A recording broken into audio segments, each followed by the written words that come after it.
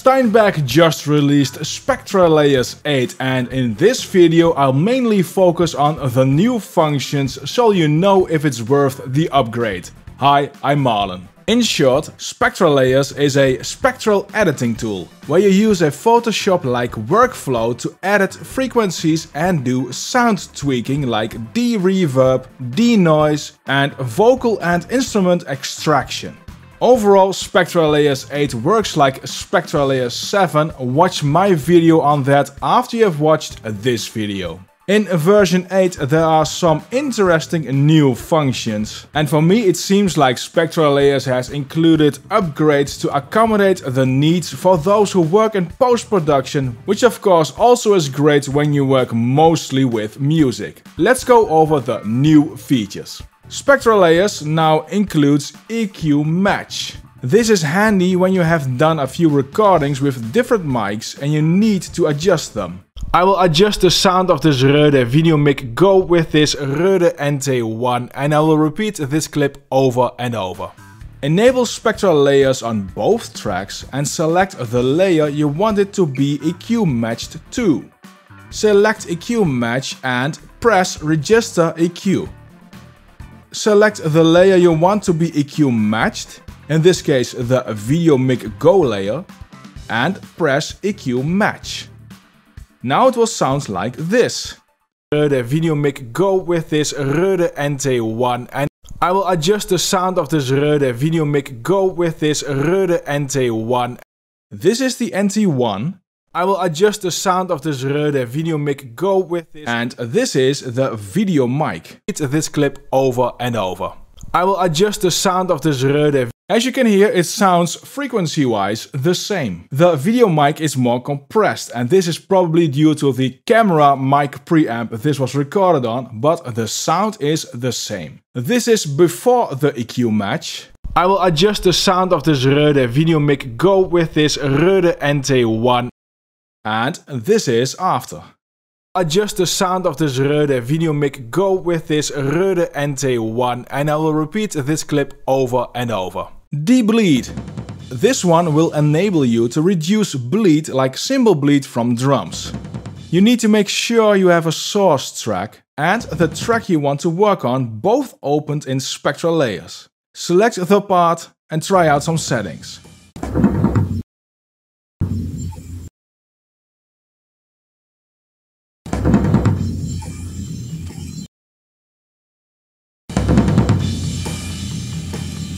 I found that 100% usually gives a lot of artifacts. But 50% nicely reduces the cymbals in this floor tom track. This will make mixing easier and also helps any gating you want to do later. Ambience match is not meant to replace one reverb with another reverb, but to provide a background ambience to another sound clip so they match better in ambience. This is handy if you have a recording in post-production which does not match up in ambience. Let's take this clip.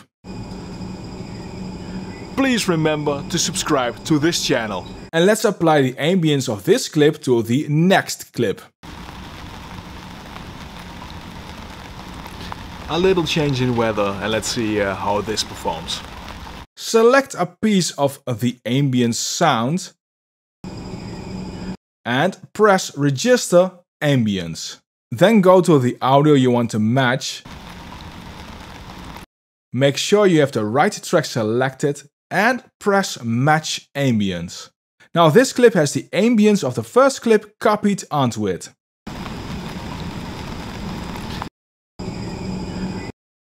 Please remember to a little change in. This is now printed into the audio file. If you need more flexibility, you can add a new layer here, select this new layer and press ambience match. This will add the ambience on this separate layer and if you go to standard layout, you can easily adjust the volume. A little change in weather and let's see. A little change. Another way is, if you have a pretty much empty audio track, you can ambience match to that empty track as well. which you then can adjust in Cubase or Nuendo however you want. A little change in weather and let's see uh, how this performs. A little change in weather and let's see uh, how this performs.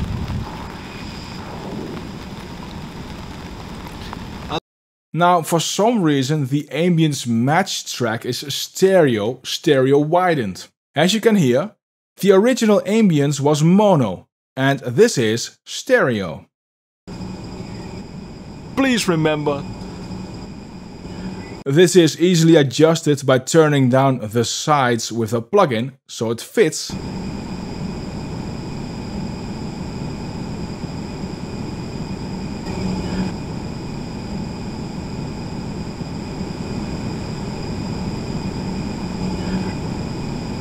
But I find this peculiar.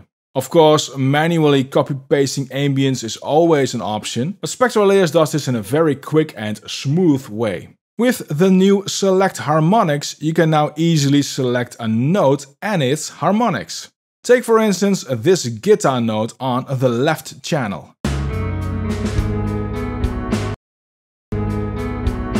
If I select it, I can for instance easily delete it.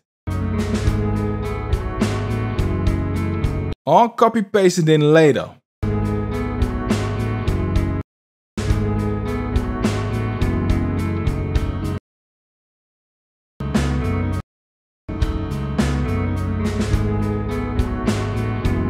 This is very flexible and musical. SpectraLayers 8 has done some improvements on existing features, like the voice denoiser. Let's use the outside clip again to see how it removes the machine noise. Please remember to subscribe to this channel. Please remember to subscribe to this channel. It actually does a great job considering how extreme the noise is. And it does this without the need of registering the noise. After denoising, I would go in and fix these small parts as well. Please remember to remember Please remember to Please remember to subscribe to the Please remember to subscribe to this channel. This is before. Please remember to subscribe to this channel. And this is after. Please remember to subscribe to this channel. The reverb reduction has also been improved and let's see how much reverb we can remove with this recording. The reverb reduction has also been improved and let's see has also been improved and let's see how much reverb we can remove with this recording. Has also been improved and let's see how much reverb we can remove with this recording.